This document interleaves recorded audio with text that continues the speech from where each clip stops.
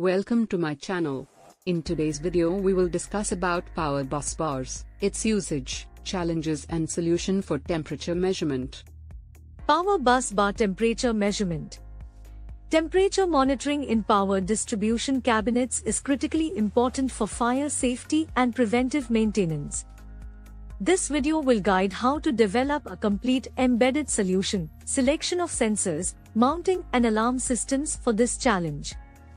Let's understand the current scenario.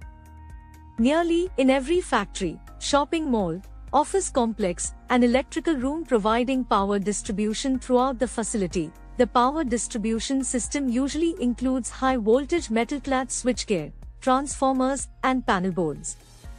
A fault or failure in any one of these components can result in power outages, loss of productivity, and even fire or explosions.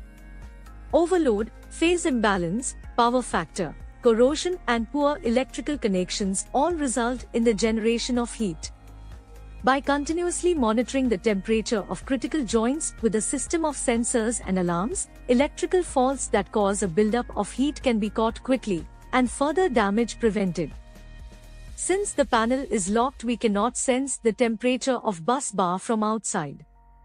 Due to high voltage inside, it is not advisable to measure temperature by opening the panel. So here is my proposed solution. Continuous monitoring of the bus bar temperature, an alarm system for temperature rise conditions. A trend detected during continuous monitoring will allow for maintenance of the equipment at your choosing to minimize downtime. The most effective solution to bus bar temperature monitoring is the use of infrared sensors. Infrared sensors provide safe non-contact measurement of real-time bus bar temperatures. Sensor used here is MLX90614. The IR sensors detect the heat that is emitted by the bus bars and safely measure the temperature with 1 degree Celsius accuracy without touching the surface of the conductor. Let's us discuss a live case here. Power bus bar inside electrical distribution panel and its temperature measurement. Design flow would be 1. Interfacing temperature sensor to a microcontroller. 2. Set a set point for temperature rise signal. 3. Interface an output device industrial LED acousto-optic alarm. 4. Mounting arrangement for the sensors is critical aspect of this design. 5. Display indicating temperatures from all the sensors. Sensor mounting assembly on bus bars using acrylic mount and non-conductive screws and spacers. Sensor PCB aligns with the acrylic screw hole mounting.